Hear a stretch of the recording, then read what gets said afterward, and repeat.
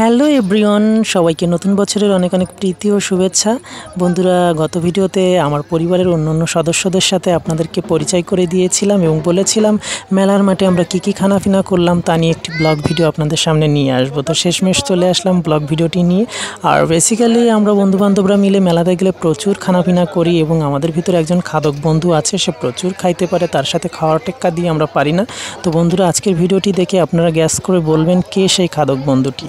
আর আপনাদের ভিতরে কোনো খাদক বন্ধু থাকলে অবশ্যই ভিডিওটি তাকে মেনশন করবেন। তো প্রথমে চলে গেলাম আমরা চটপটির দোকানে। চটপটির দোকানে গিয়ে দেখি এক ভাই সুন্দর করে ঝালমুড়ি খাচ্ছে। তার একটা ভিডিও ক্লিপস নিলাম। সে খুবই সুন্দরভাবে আমাদেরকে পোজ দিলেন। আর চটপটির দোকানটি ছিল আমাদের আমাদের বাজের অন্যতম চটপটির দোকানদারের মালিক। আর রায়হান রায়হান চলে আসছে মেলাকে কেন্দ্র করে। মেলার মাঠে চটপটির দোকান দেওয়ার জন্য। তো তার কাছ থেকে আমরা চটপটি খাব বলে অর্ডার দিলাম। আর ইদানিং আমি একটু ফাস্ট ফুড কম খাচ্ছি। যেহেতু আমার একটু গ্যাস্ট্রিকের প্রবলেম হচ্ছে এবং শারীরিক অসুস্থতার ভিতরে আছি, সেটা আপনারা আমাকে দেখলে বুঝতে পারবেন। তো আমরা লম্বা লাইন দিয়ে বসে গেলাম চটপটি খাওয়ার জন্য। রায়ানও ব্যস্ত হয়ে পড়েছে আমাদেরকে চটপটি তৈরি করে খাওয়ার জন্য। আসলে পয়লা বৈশাখের মজা বলে কথা। পয়লা বৈশাখের দিনে তো একটু স্পেশালভাবেই খেতে হবে। সারা বছর যেমন তেমন চটপটি খাই না কেন আমরা? পয়লা বৈশাখের দিনে একটু স্পেশাল কিছু থাকতে হবে। এই জন্য রাহানও প্রাণপণ চেষ্টা করতেছিল আমাদেরকে খুশি করার জন্য। তো শেষমেশ সে চটপটি তৈরি করে আমাদেরকে প্রিফার করল আমরা খাওয়ার জন্য প্রস্তুত হয়ে গেলাম।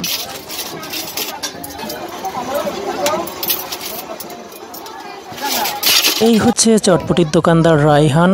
সে সুন্দর করে চটপটিটি প্রিপট করে টেবিলের উপরে রেখে দিল। দেন আমি সুন্দর করে খাবারগুলো পরিবেশন করে দিলাম আমার বন্ধুদের ভিতরে। প্রথমে দিলাম আমাদের ডাক্তার নিশিদাকে দেন দিলাম মুকুন্দকে দেন স্বপনকে এবং কুমারেশকে এবং শেষমেশ আমি একটা চটপটি নিলাম, সুন্দর করে খাওয়া শুরু করে দিলাম।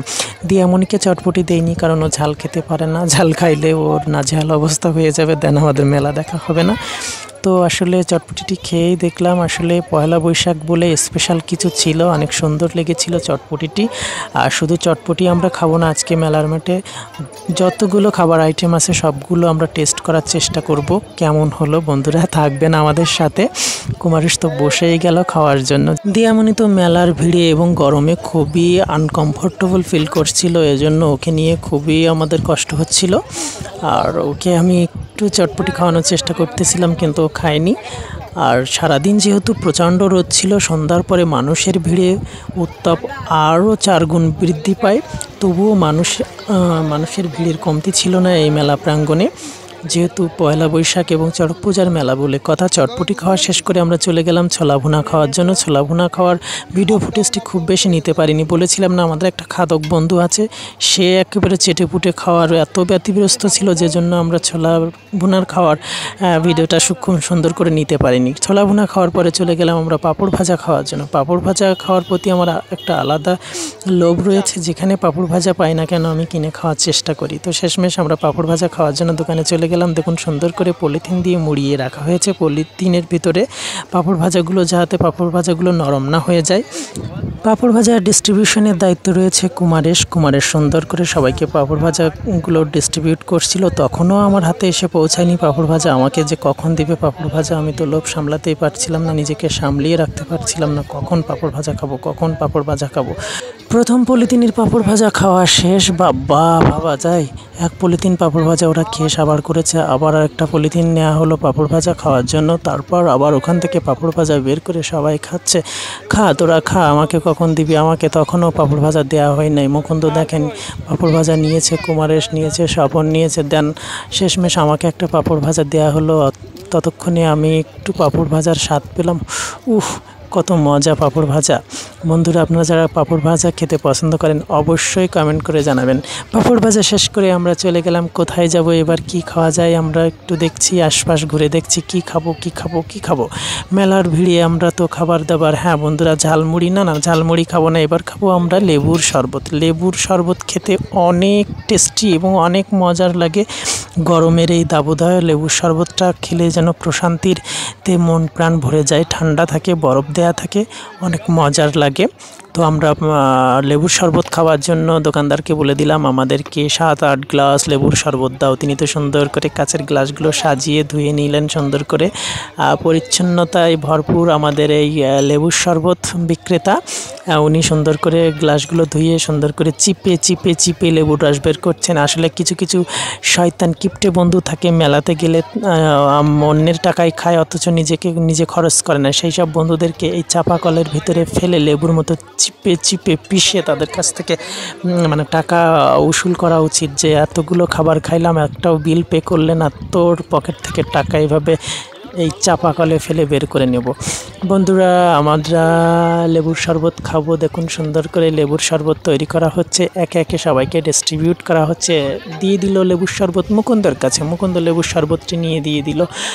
নিশিদার ভাইপো দেন সুন্দর একটা কালার আসছে। ভিডিওতে দেখতে পাচ্ছি। ও, এখানে একটা লাইটিং ছিল কালার লাইট ছিল। পার্কার মারছে নাকি? পার্কারের আলোয়। তারপর মুকুন্দর কাছে দিয়ে দিল লেবুর শরবত মুকুন্দ সেটা দিয়ে দিল স্বপনকে, স্বপন সেটা দিয়ে দিল নিশিদাকে।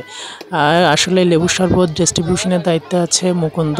এবার লেবুর শরবত দেয়া হলো কুমারেশকে, আমাদের হিরো হিরো দ্য সুপারস্টার। দেখুন কত সুন্দর করে গ্লাসটা সিনেমেটিক কায়দায় ক্যামেরার সামনে ধরে সুন্দর করে চুমুক মেরে দিল লেবুর শরবতে। আমাকে কেন শেষে দেওয়া হয় সব খাবার আমি বুঝি না। শেষমেশ আমাকে একটা লেবুর শরবত দিল। আমার মুখে তো রং পড়ছে। আহ! এখানে আমার একটা গান মনে পড়ছে এখন। কি? একটু হালকা মেরেছি ভাই, লাল পানি, একটু হালকা মেরেছি ভাই, লাল পানি। বন্ধুরা বিভ্রান্ত হবেন না, আমি এখানে লাল পানিটা নিয়ে কিছু খাচ্ছি না, খাচ্ছি লেবুর শরবত। আসলে আমার মুখে লাল আলো পড়ছে, তাই আমার গানটা মনে পড়ছে। আপনারা কেউ মাইন্ডে নিয়েন না, মাইন্ড করলে কিন্তু সাইন করতে পারবেন না। সো লেবুর শরবত খাওয়া শেষ, এবার আমরা কি খাব? আমরা পরিকল্পনা করছি তো, পরিকল্পনা করতে হবে না, আমরা চলে গেলাম কলকি আইসক্রিমের দোকানে। এই কলকি আইসক্রিম খেতে আমার যে কি যে মজা লাগে বন্ধুরা, আমার অনেক ভিডিওতে আপনাদেরকে দেখিয়েছি আমার কলকি আইসক্রিম খাওয়া। আর কলকি আইসক্রিম খাওয়াটা আমার খুবই ভালো লাগে। ছোটোবেলায় এই কলকি আইসক্রিম খাওয়ার জন্য কত কান্নাকাটি করতাম। বাবা মা আমাদেরকে খেতে দিত না ঠান্ডা লাগবে বলে।